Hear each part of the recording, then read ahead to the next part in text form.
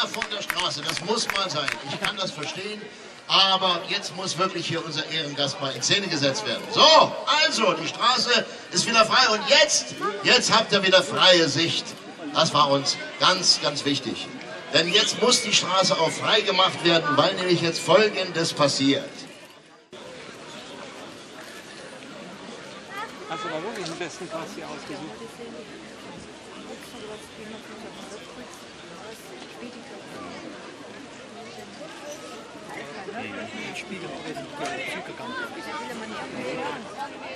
Bürgermeister bitten, noch zuzugehen, ne?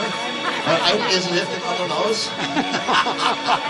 so, begrüßen wir nicht die abartigen Freunde, sondern die Freunde.